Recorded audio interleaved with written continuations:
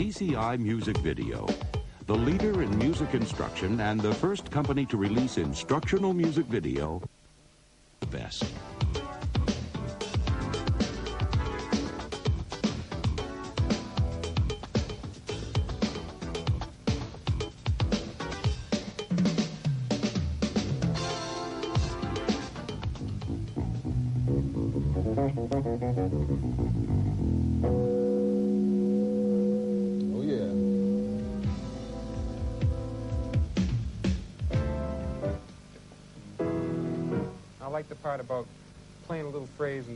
Space, and I can hear the, hear what the how the drums would fill that in.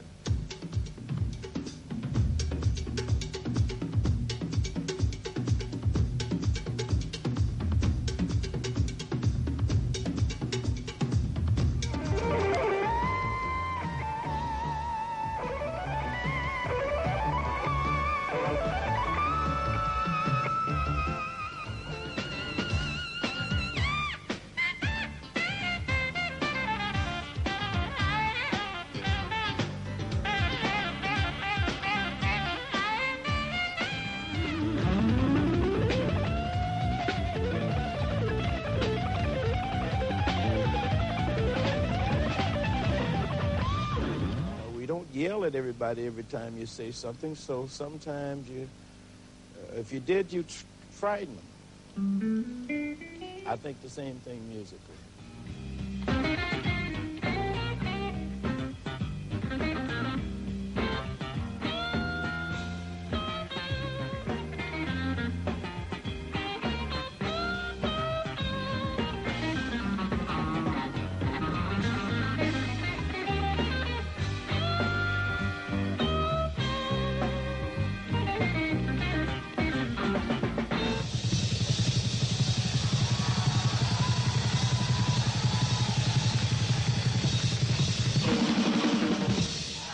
DCI Music Video, the first in instructional music video.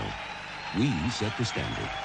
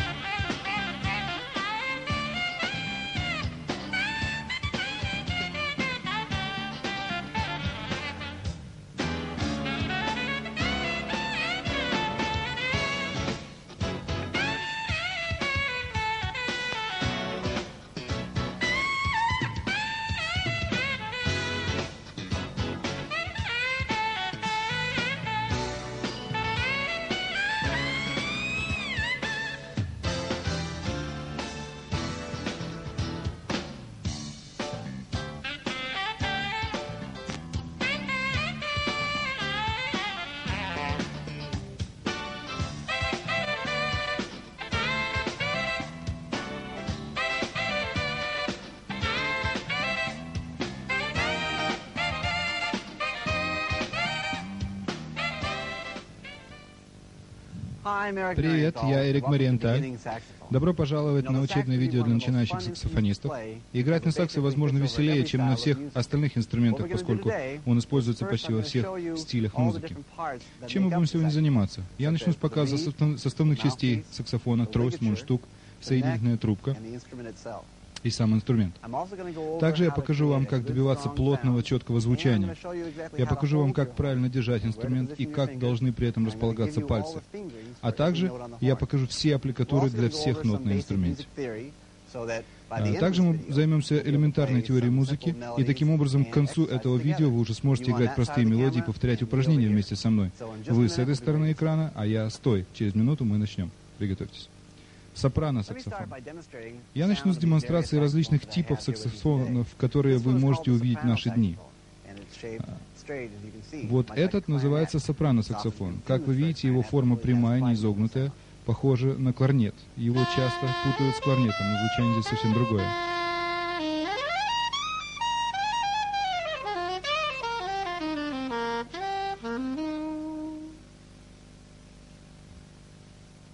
Альт-саксофон. Следующий саксофон, на котором я хотел бы для вас сыграть, это альт-саксофон. Он несколько больше, чем сопрано, и у него более низкий звук. Его форма изогнута, и поэтому на нем играть несколько проще, поскольку он располагается ближе к телу. Будь он прямым, пришлось бы тянуться, было бы неудобно. Давайте я продемонстрирую вам этот инструмент.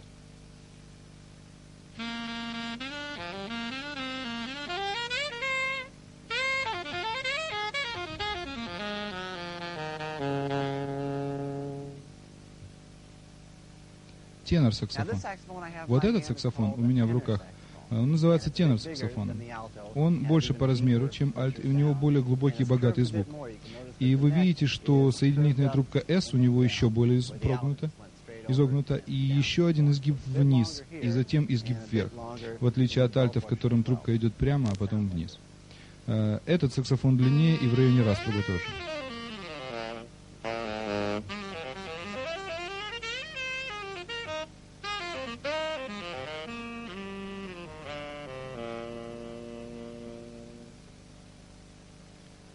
Сборка саксофона. Начнем с самого начала. Достанем саксофон из футляра. Вам нужно запомнить такое важное правило. Следует убедиться, что защитные металлические шишечки располагаются снизу, а замки открываются вверх. Вот так. Если вы откроете футляр наоборот, то можете легко выронить саксофон на пол. Первое, что я сделаю? Надену шейный шнурок. Выглядит он так. Длина его регулируется, на конце у него крючок. Одевается шнурок вот так. Крючок крепится сзади саксофона и поддерживает его. Доставать саксофон нужно тоже не просто так. Вам нужно убедиться, что вы не беретесь за клапаны и не вытаскиваете сакс, держась за них. Эти клапаны очень хрупкие, и их легко можно повредить. Вам нужно поместить руку внутри раструба вот так. И вынуть инструмент. При этом вы не касаетесь клапанов. Вы держитесь только за корпус инструмента и поддерживаете его второй рукой. Такой способ безопасен. Здесь на корпусе вы найдете маленькое колечко. Здесь вы как раз и закрепляете крючок шейного шнурка. Вот так поддерживаете саксофон, и вам не нужно одновременно держать саксофон и при этом нажимать на клапаны, благодаря шейному шнурку. Регулируем длину шнурка следующим образом. Вверх и вниз. Вам нужно убедиться также вот в чем. Саксофон закрывается пробкой, вот здесь сверху. И перед тем, как вставить соединительную трубку, вам нужно извлечь пробку. Пробка предохраняет вот этот октавный клапан.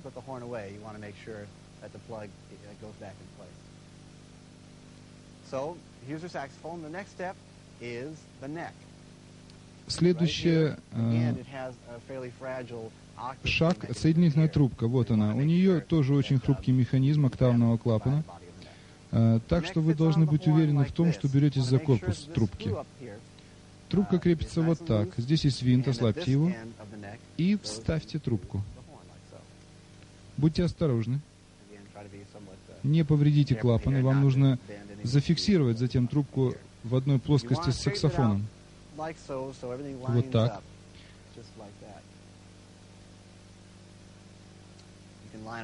Установив трубку, вы фиксируете ее винтом.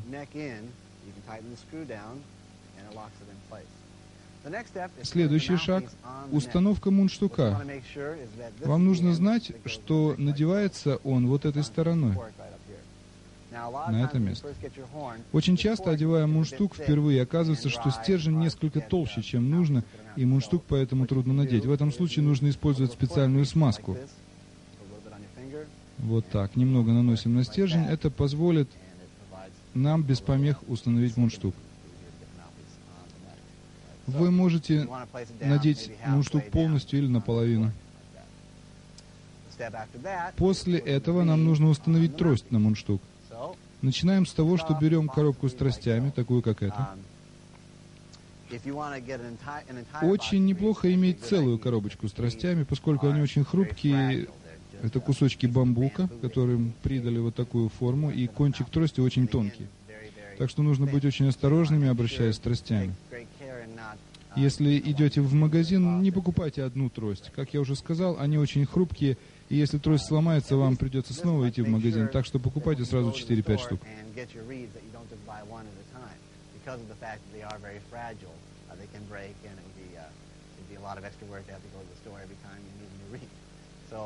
Установка трости производится следующим образом. Трость имеет одну плоскую сторону,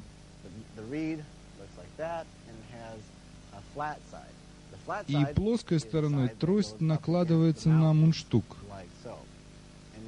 Проследите, чтобы кончик трости был на одной линии с кончиком мундштука. Форма у них одинаковая, и вам нужно проследить, чтобы и высота их совпадала.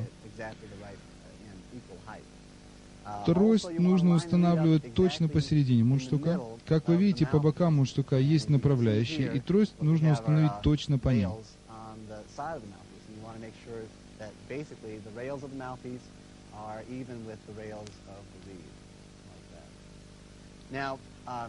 Прежде чем установить зажим, замечу, что трость работает лучше, если она влажная.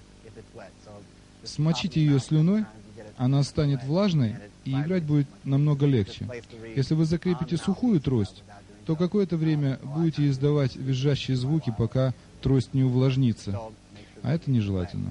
Так что убедитесь в том, что трость влажная. Следующий шаг — зажим. Он выглядит так. Он надевается на мундштук и фиксирует трость. У него одна сторона толще, другая тоньше.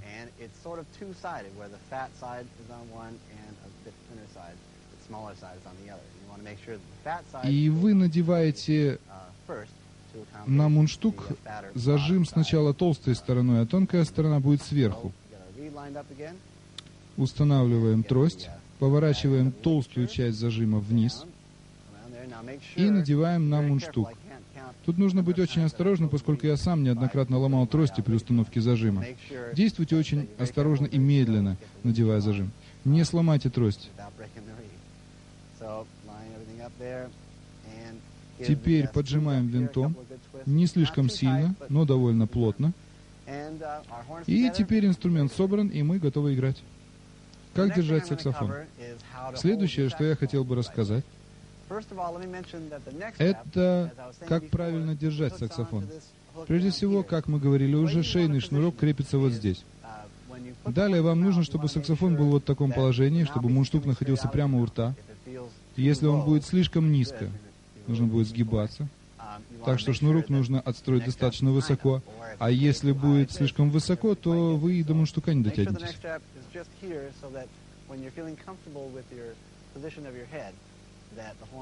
Итак, убедитесь, что шнурок отрегулирован примерно вот так. Э, вам удобно, и инструмент находится прямо у рта, где-то посередине.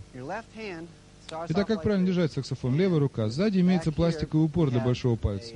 Здесь вы его и располагаете. Остальные пальцы обнимают инструмент. Вот на эти клапаны.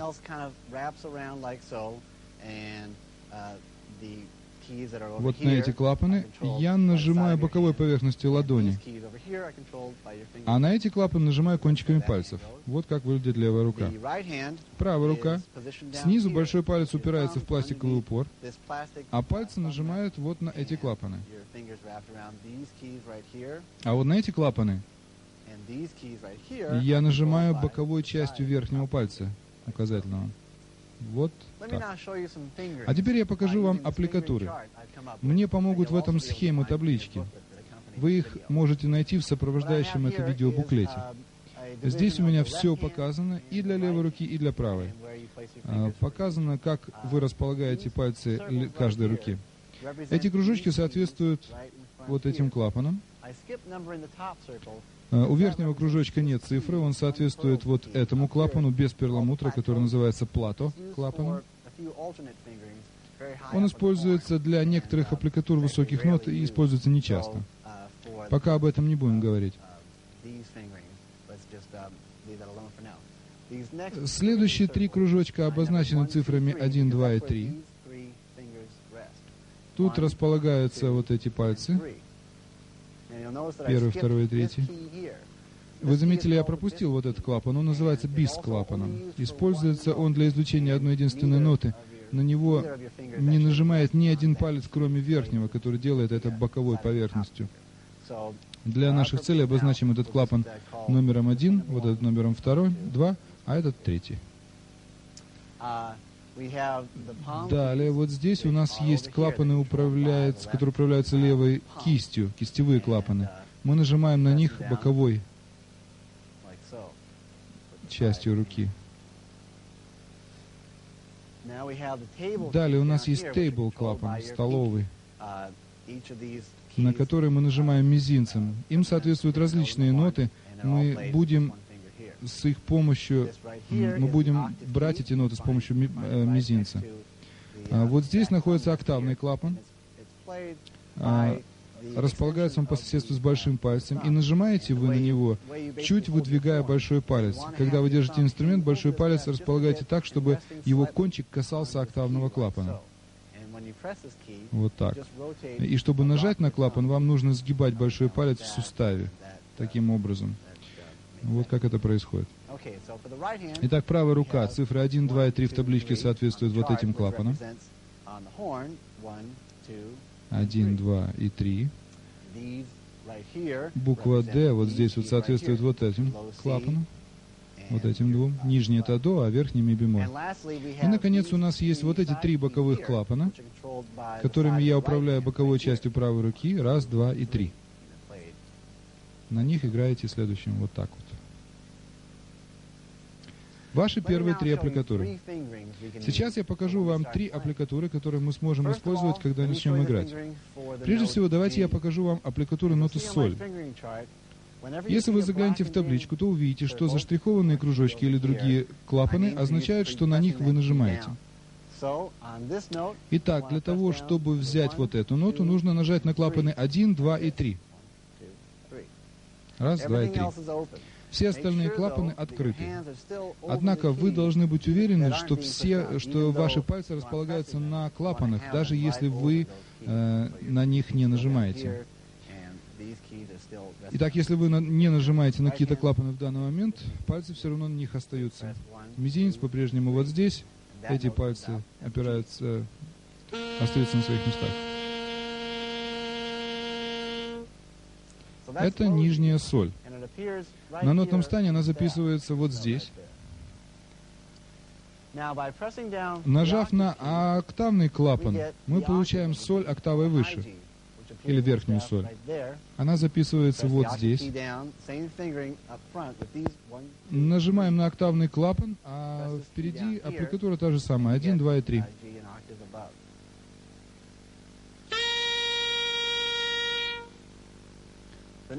Следующая аппликатура ноты ля. На нотном стане эта нота записывается вот здесь. Аппликатура та же, только кла один клапан вы отпускаете. Остается только один и два. Третий открытый, правая рука все открыто по-прежнему. Звучит это так.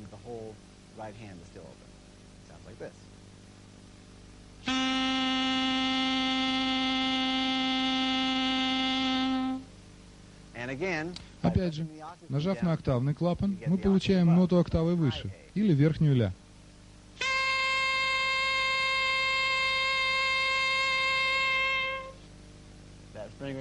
Аппликатура выглядит так.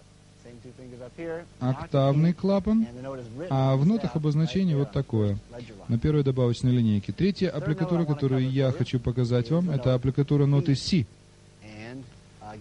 Опять же, поднимаем второй палец, остается нажатым только первый клапан. Это аппликатура для C, только один клапан.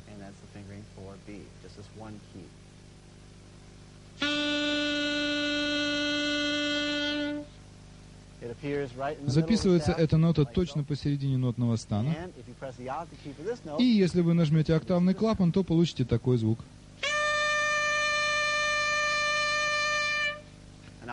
Си выше октавы, верхняя Си. Она записывается на нотном стане вот здесь, над первой добавочной линейкой. Получение хорошего звучания. А сейчас я покажу вам, как правильно зажимать мундштук губами, с тем, чтобы вы могли получить хорошее звучание.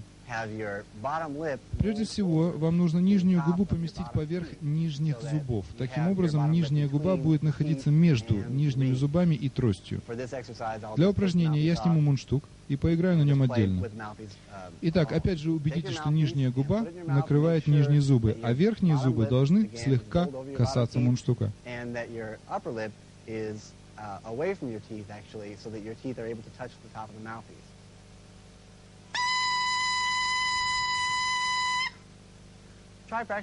Попражняйтесь несколько раз, и вы можете остановить пленку и позаниматься некоторое время, пока не прочувствуете это. В нижней губе будут необычные ощущения. Трость ходит туда-сюда очень быстро, и что и создает звук. А сейчас проделаем то же самое, но уже на, с надетым на саксофон мундштуком. Одеваем Убедимся, что шейный шнурок в норме. Для упражнения будем использовать, будем использовать аппликатуру ноты соль 1, 2 и 3. Октавный клапан сзади не нажат. Большой палец просто лежит на нем. Готово? Убедитесь, что дыхание вы берете глубоко, дышите животом, создавайте мощный поток воздуха.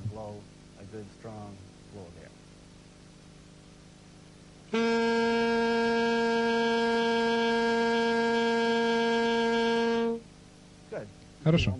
Еще раз.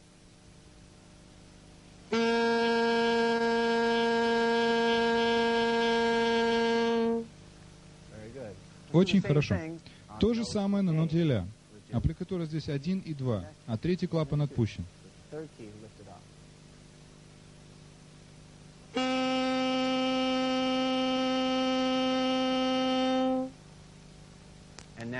А теперь, чтобы взять ноту Си, оставим только первый клапан.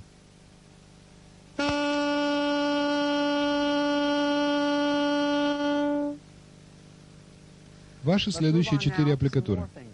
Теперь перейдем к другим аппликатурам. Сейчас я хотел бы показать аппликатуру ноты До, на нотном стане вы видите, что эта нота обозначается между третьей и четвертой линейками. Аппликатура такая. Левой рукой вы нажимаете на клапан номер два. Вот так.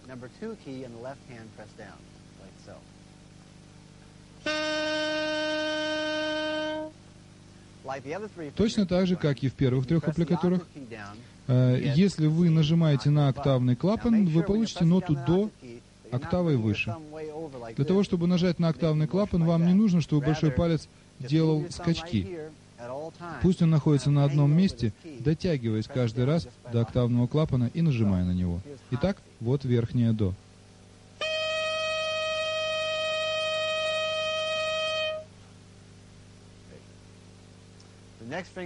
Следующая аппликатура, которую я хочу вам показать, это аппликатура среднего ре. Эта аппликатура требует участия правой руки. На моей схеме вы видите, что эта нота обозначается на четвертой линейке. А аппликатура следующая. Левая рука, клапаны 1, 2 и 3. Октавный клапан нажат. И клапаны 1, 2 и 3 на правой руке. Звучит это так.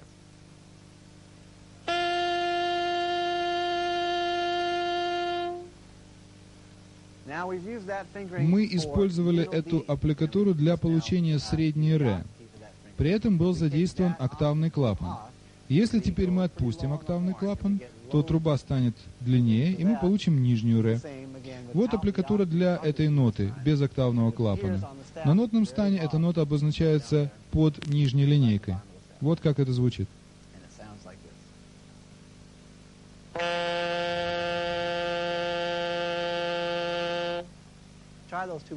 Попробуем сыграть эти две ноты еще раз.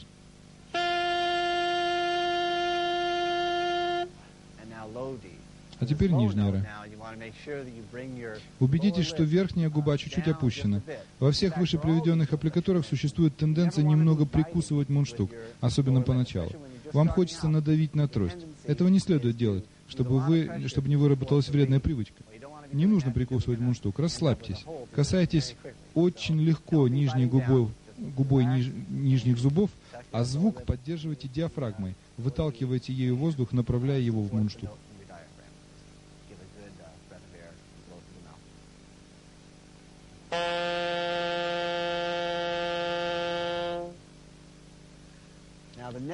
Следующая нота — средняя ми. Обозначается она вот так, в верхнем просвете нотного стана. Аппликатура такая же, как для средней ре, но в этом случае мы не нажимаем на третий клапан правой рукой. Самый нижний клапан вот здесь. Если он нажат, это ре, а если палец поднять, то это ми. Октавный клапан нажат. Средняя ми.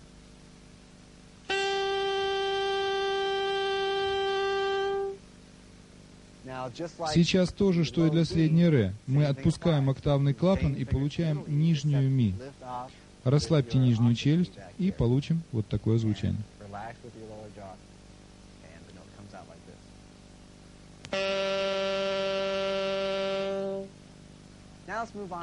Теперь перейдем к следующим аппликатурам.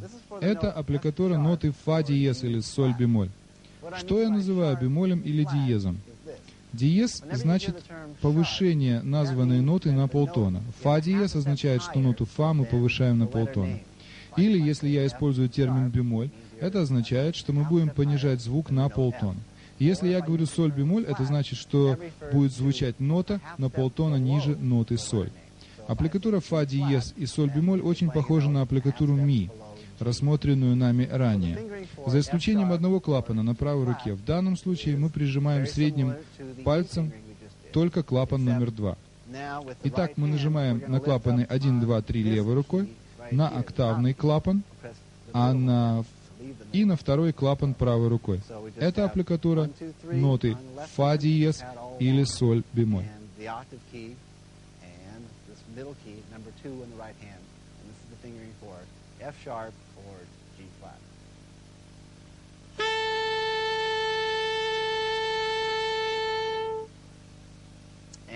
И, конечно же, вы догадались уже, если отпустить октавный клапан, вы получите ноту октавой ниже. Вы видите, где она обозначена на нотном стане. Диез обозначен вот так, а бемоль вот так. Как видите, обозначаются они по-разному. Это зависит от тональности. Диез и бемоль помещаются перед нотой. А если используется буквенное обозначение, то бемоль и диез пишутся вверху после ноты. Вот как здесь. Фа диез или соль бемоль. Сейчас я использую аппликатуру нижней фа диез или соль бемоль. So let me play now this fingering for low, F sharp, or G flat.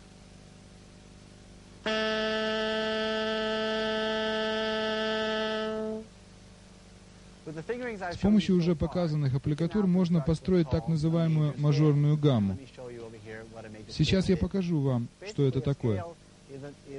По сути, это последовательность нот, начинающаяся с одной ноты и заканчивающаяся, заканчивающаяся на той же ноте октавой выше. А, я сыграю вам для иллюстрации.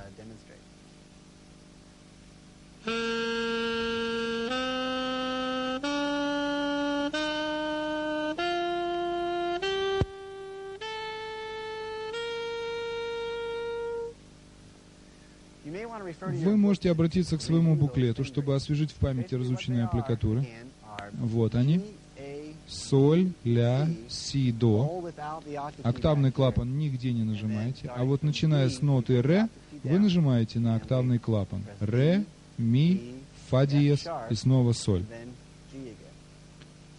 Сыграем очень медленно вместе.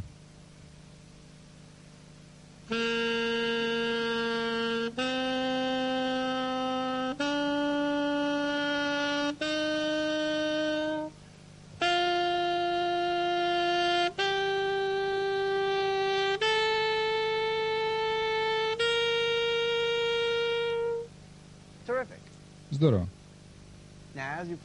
Как брать дыхание и направлять поток воздуха в саксофон? Когда вы исполняете эти ноты, вы должны набирать полные легкие воздуха. Если вы дышите не глубоко поверхностно, то ноты вы не сможете держать долго, звук будет мелким. Сейчас я вам это покажу.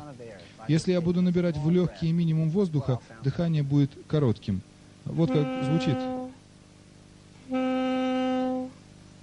Саксофон с таким дыханием? Ну, прежде всего, э, я не могу долго держать ноту, и звук уже получается слабый и мелкий. И, а если я наберу полные легкие воздуха, то мой звук станет намного длиннее, а звук будет более громким.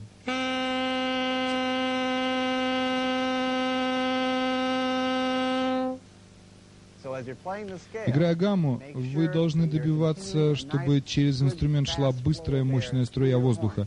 Можно представить себе бесконечный поток воды, непрерывно идущий через саксофон. И вы не прерываете это течение, не делаете дополнительных вдохов, гамму исполняете на одном дыхании. Сейчас я вам это продемонстрирую. Гамма соль мажорная этот раз.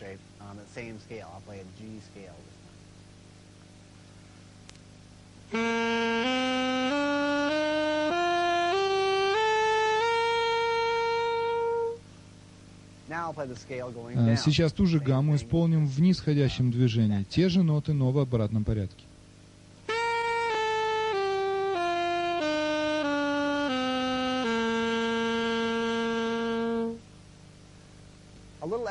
Вот небольшое упражнение, которое поможет вам научиться создавать плотный поток воздуха быстрый поток воздуха.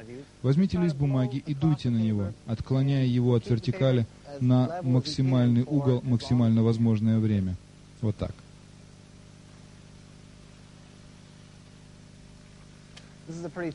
Очень простое упражнение, но проделав его несколько раз, вы уясните себе, как из живота воздух вытесняется в легкие, и вы научитесь работать животом постоянно во время игры.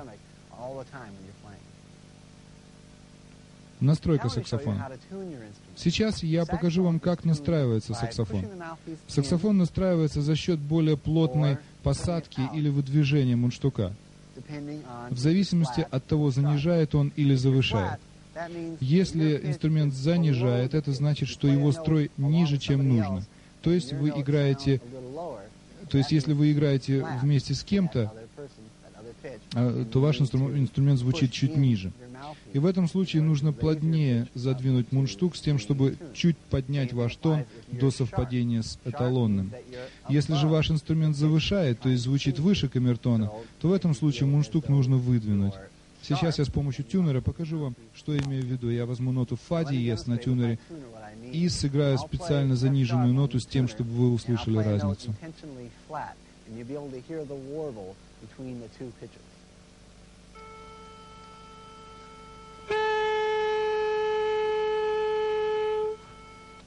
В этом случае мой инструмент немного занижал, и мне нужно немного плотнее задвинуть мундштук. Вы сейчас увидите, какой это даст результат.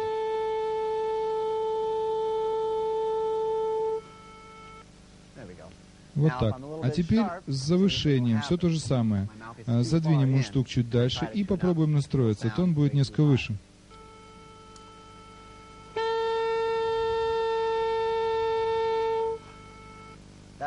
Вы слышите, что инструмент не строит. Опять немного выдвинем мундштук. Вот так. Чтобы вернуться к точному строю. Еще можете попробовать вот что. Вы опускаете нижнюю губу вниз и таким образом влияете на высоту тона. Или поднимаете ее, э, меняя высоту тона таким образом. И если вы, опуская губу, чувствуете, что инструмент дает, звуку, ну, дает звук нужной высоты, это значит, что на самом деле он завышает. А если наоборот, то занижает. И значит, мундштук нужно немного плотнее надеть на саксофон. Долгие тона. Давайте теперь вместе поиграем долгие тона. Суть в том, чтобы постараться поддерживать звучание плавным и ровным как можно дольше при исполнении нот. Например, нота «до», которую вы берете, нажимая на второй клапан левой рукой. Вот таким образом. Будем использовать метроном, который будет давать нам счет. Будем держать ноту 4 бита.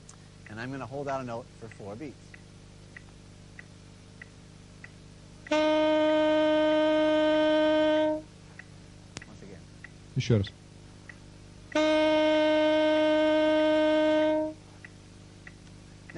А сейчас вместе со мной. Готовы? One, two, ready, go. Еще раз. One, two, three, go. Хорошо, теперь попробуем держать 6 битов. Готовы?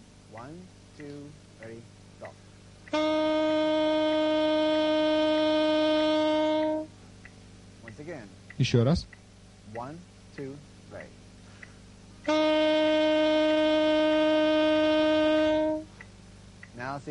Сейчас попробуем держать ноту 8 битов. На этот раз я хотел бы взять другую ноту. Как насчет ноты ре?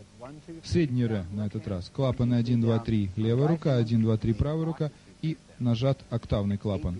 Держим 8 битов.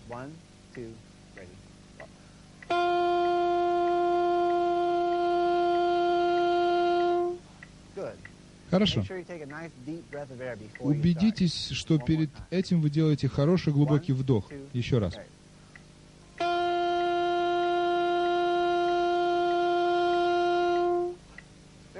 Очень хорошо.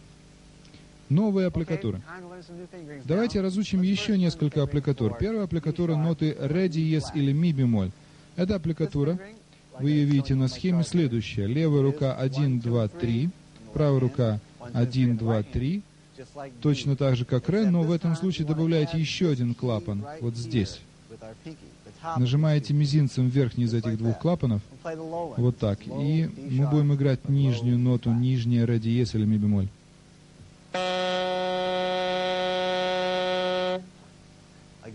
Опять же, если, используя ту же аппликатуру, нажать на октавный клапан, а, кстати, обозначается на нотном стане нижние ре диез и ми бемоль вот здесь и вот здесь, это в самом низу нотного стана. Если нажать октавный клапан, будет звучать нота октавой выше, которая записывается вот здесь, на четвертой линейке или между четвертой и пятыми линейками. Ре диез или ми бемоль. Итак, если нажать на октавный клапан, вот что получится. Следующая аппликатура, которую я хочу вам показать, нота фа.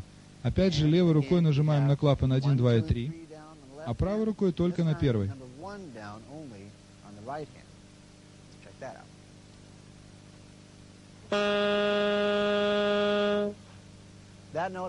Эта нота записывается вот здесь, в первом просвете на нотном стане. И нажимая на октавный клапан, получаем ноту выше октавы. Она записывается на верхней линейке. Вот как это звучит. Первый, второй клапан левая рука и третий. И первый клапан правая рука и октавный. Хорошо. Следующая аппликатура для соль диез или ля бемоль. Эти ноты записываются на нотном стане вот так. Аппликатура такая. Первый, второй, третий клапаны на левой руке. И на этот раз вы нажимаете верх, верхний тейбл клапан. Э, вот здесь мизинцем. Получаем нижнюю соль диез или ля бемоль.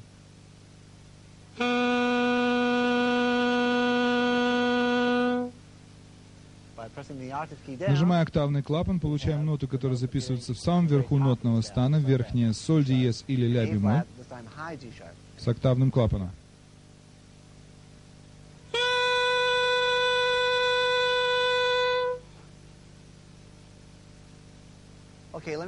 А теперь я покажу вам аппликатуру ноты соль диез, э, ля диез или си бемоль. На самом деле есть три аппликатуры для этой ноты. Начнем вот с этой. Это средняя ля диез или си бемоль. Левая рука нажимает только на первый и второй клапаны, а правая нажимает вот на этот последний клапан. Он обозначен вот здесь на схеме. Вы нажимаете его боковой стороной пальца, вот так. Суть в том, чтобы пальцы оставались все время на клапанах. Нажимаете ли вы на эти клапаны? Или вот эти клапаны тейбл левой рукой, вы отнима, обнимаете руками инструмент, держа пальцы на клапанах. Это позволяет плавно переходить от одной ноты к другой. Руке не нужно прыгать туда-сюда. Итак, давайте я покажу вам эту аппликатуру. Левая рука 1 и 2, и боковой частью правой руки нажимаете вот этот клапан си бемоль. Эти ноты записываются вот здесь. И опять же, если нажать на октавный клапан, то полученные ноты записываются вот здесь, на добавочных линейках. И вот как это звучит.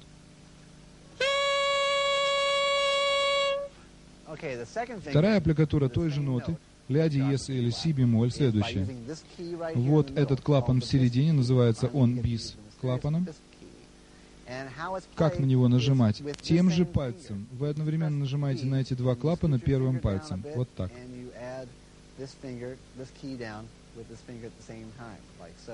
So it's pressed down at the exact same time same finger.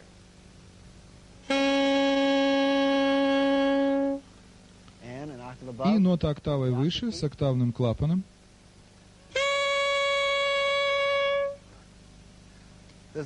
Есть еще одна аппликатура для этой ноты. Я не очень ее рекомендую, поскольку на мой вкус ее звучание не самое лучшее из этих трех. Но, тем не менее, я вам ее покажу, чтобы вы знали, что она из себя представляет. Вот она. Один левая рука и один правая рука. Один и один и с октавным клапаном. Звук несколько гнусавый, я больше рекомендую аппликатуру с клапаном, э, нажимающимся боковинкой пальца или с бис-клапаном. Сейчас я вам покажу самую простую аппликатуру на саксофоне. Это аппликатура для средних до диез и ре бемоль. Э, записываются эти ноты вот здесь. Это простейшая аппликатура, поскольку вы вообще ни на что не нажимаете. Держа саксофон, вы должны быть уверены, что пальцы остаются на клапанах, но не нажимают на них. Вот как это звучит.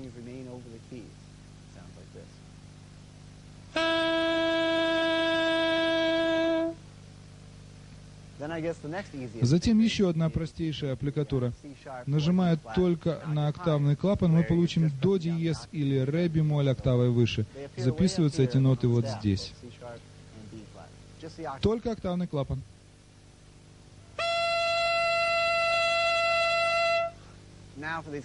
Исполняя эти верхние ноты, вам нужно чуть больше зажимать мундштук нижней губой и чуть сильнее делать поток воздуха. Первый раз, когда вы будете исполнять эти верхние аппликатуры, будет трудно.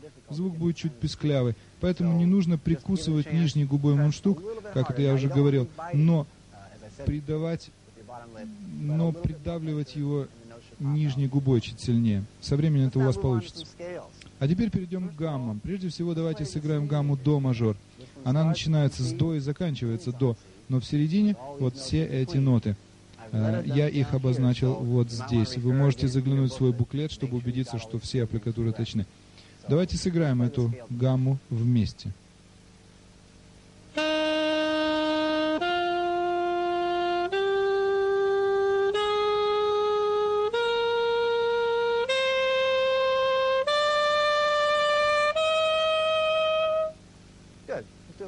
Хорошо, еще раз. Готовы?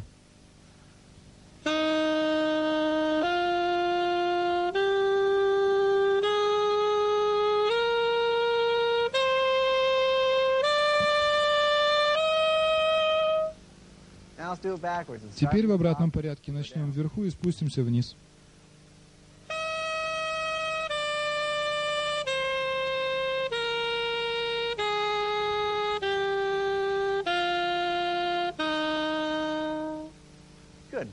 Хорошо. Теперь другая гамма. На этот раз это будет гамма фа мажор. Гамма начинается и заканчивается нотой фа. В середине вы видите ноту си бемоль вместо си. Сыграем теперь эту гамму. Вы готовы?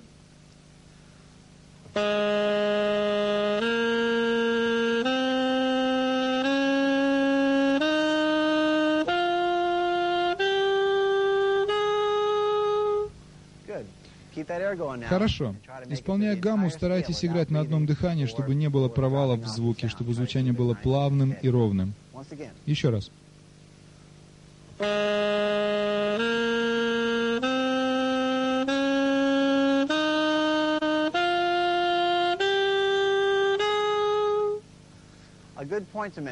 Следует отметить вот что.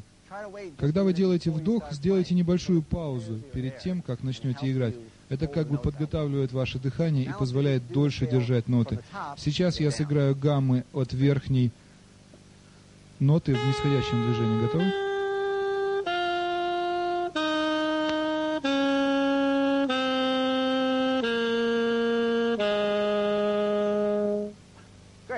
Здорово. Займемся еще одной гаммой. Это гамма си бемоль мажор. Тут присутствуют ноты си бемоль, ми бемоль. А, попробуем сыграть эту гамму.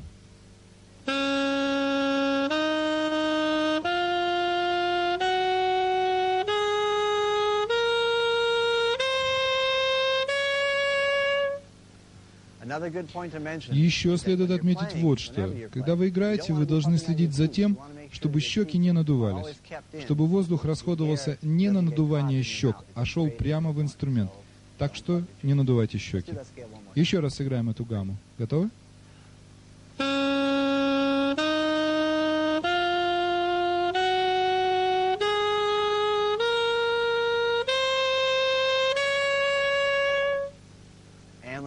А теперь движемся вниз. Готовы?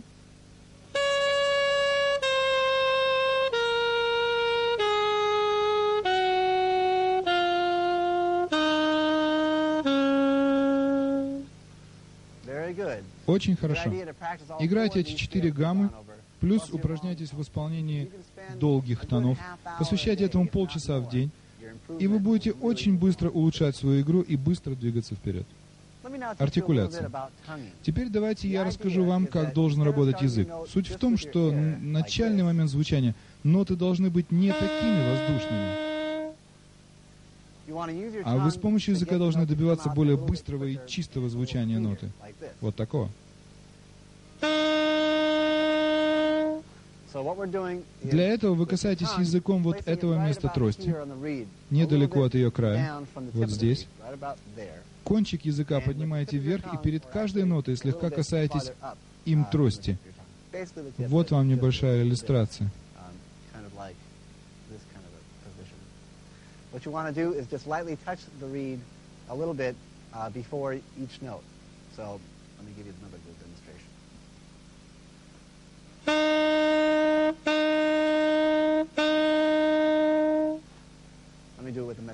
А сейчас с метрономом.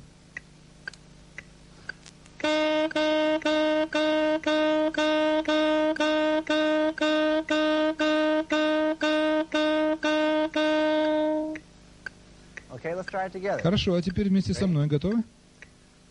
One, two,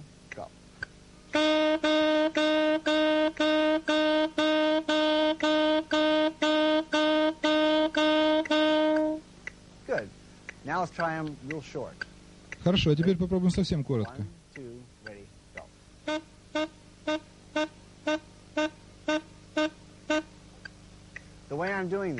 Э, я делаю это так. Языком я делаю так же, как объяснял, но после того, как нота сыграна, я возвращаю язык в ту же точку касания с тростью. То есть я выпускаю порцию воздуха, достаточную для одной ноты, а все остальное время язык касается трости. Вот так он работает.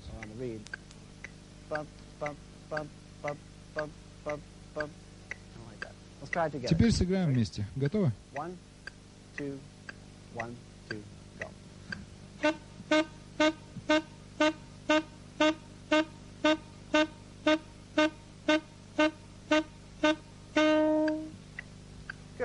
Хорошо. Еще аппликатура. Сейчас пора заняться оставшимися аппликатурами. Четыре самых верхних и четыре самых нижних ноты на саксофоне. Сначала я покажу вам аппликатуру нижней до диез или ре бемоль. Вот как эти ноты записываются. А вот аппликатура. 1, 2, 3 левая рука, 1, 2, 3 правая рука, нижний до клапан под мизинцем, который является нижним вот из этих двух. А также нажимаем вот на этот клапан мизинцем левой руки. Этот клапан находится ближе всех к краю. Видите? Вот он. Итак, 1, 2, 3 левая рука, 1, 2, 3 правая рука, до клапан мизинцем правой руки и до диез клапан мизинцем левой руки. Вот как это звучит. Thank you. Следующая нота — это нижняя нота до. Та же аппликатура 1, 2, 3, 1, 2, 3, нижняя до, только не нажимаем клапан мизинцем левой руки, только до мизинцем правой. Вот как это звучит.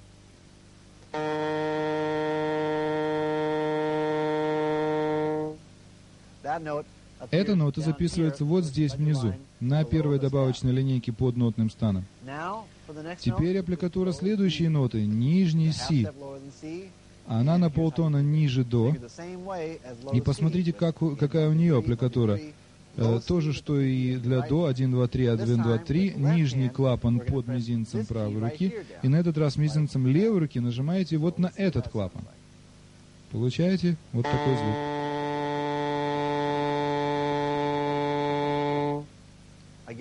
Тут тоже не нажат октавный клапан. И, наконец, самая нижняя нота саксофона си бемоль или ля диез. Аппликатура такая же, как для нижней до. 1, 2, 3, 1, 2, 3, нижний до клапан, но на этот раз мизинцем нажимаете на самый нижний клапан, вот здесь. Назовем его нижним си бемоль клапаном.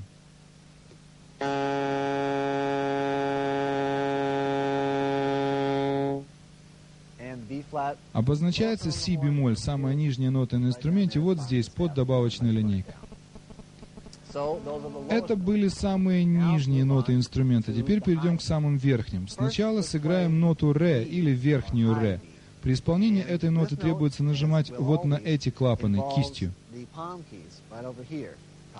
Вас, наверное, интересовало, зачем они нужны, вот мы их и используем. В этой аппликатуре задействованы октавный клапан и первый боковой клапан, который можно назвать ре-клапаном. Он находится ближе к телу. Вот как звучит эта нота.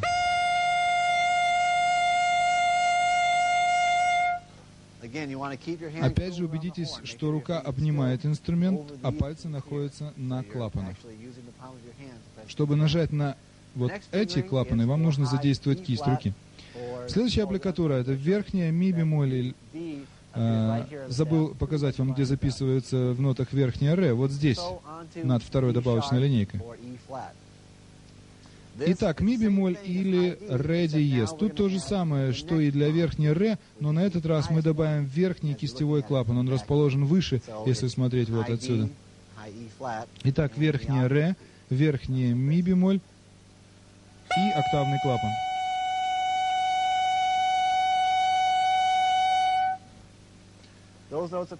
А, эти ноты записываются вот так, над второй добавочной линейкой для ре диез и над третьей линейкой для ми бемоль.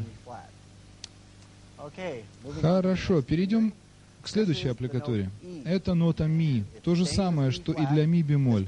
Вот этот кистевой клапан, вот этот кистевой клапан, два первых, октавный клапан. И на этот раз мы будем использовать верхний из боковых клапанов, клапан ми.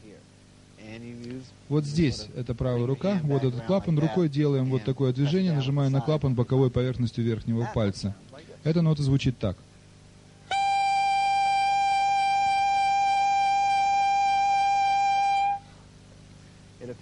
Записывается эта нота на третьей сверху добавочной линейке. И самая высокая нота инструмента — это верхняя фа. Та же самая аппликатура, первый и второй кистевые клапаны, октавный клапан, боковой ми-клапан, плюс к этому последний, третий кистевой клапан, на который вы нажимаете вторым пальцем. Вот как это звучит, верхняя фа.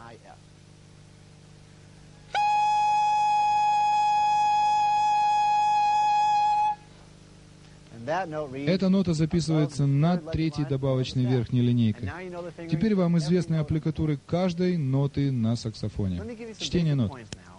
Я сейчас сделаю несколько основных замечаний относительно того, как начать читать музыку. Вот эти линейки в совокупности называются нотным станом. Вот этот знак называется скрипичным ключом или ключом соль. Так он называется, наверное, потому что похож на букву G. Ноты на нотном стане записываются и на линейках, и между ними. Ноты между линейками следующие. Фа, ля, до, ми.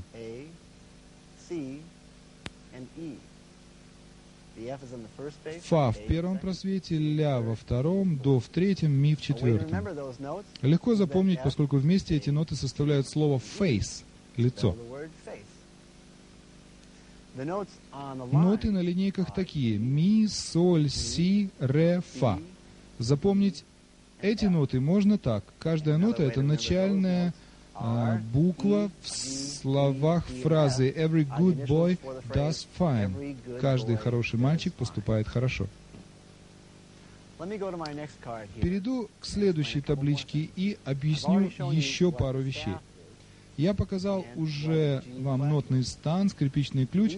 Здесь нотный стан разделен на две части. Каждая из этих частей называется тактом, а эти линии — это тактовые черты. Вот эти две цифры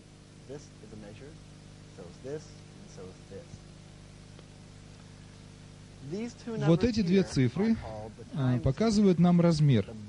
Нижняя цифра говорит о том, какого типа ноты приходятся на одну долю.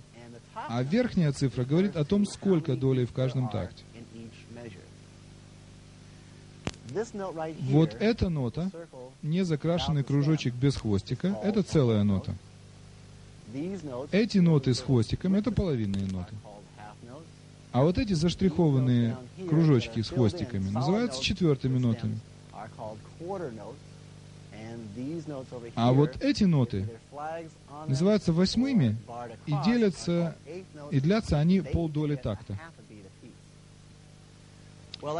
Итак, вы получили достаточно много информации за этот промежуток времени.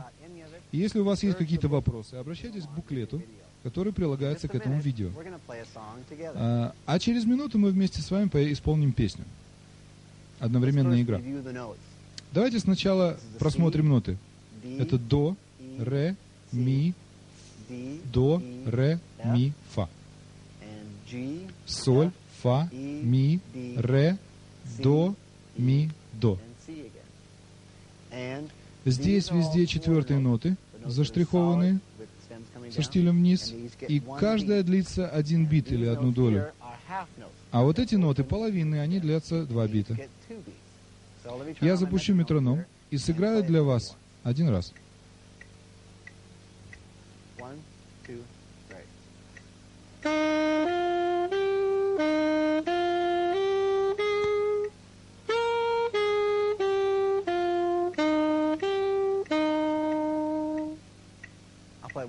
Я сыграю еще раз, а вы последите.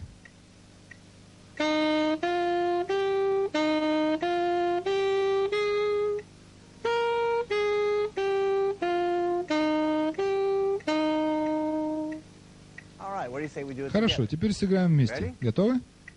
One, two, ready.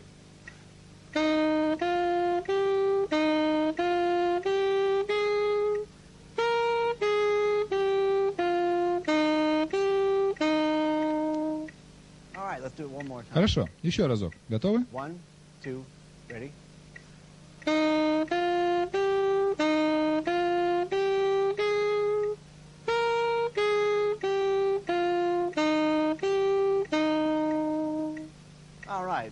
Отлично, очень хорошо.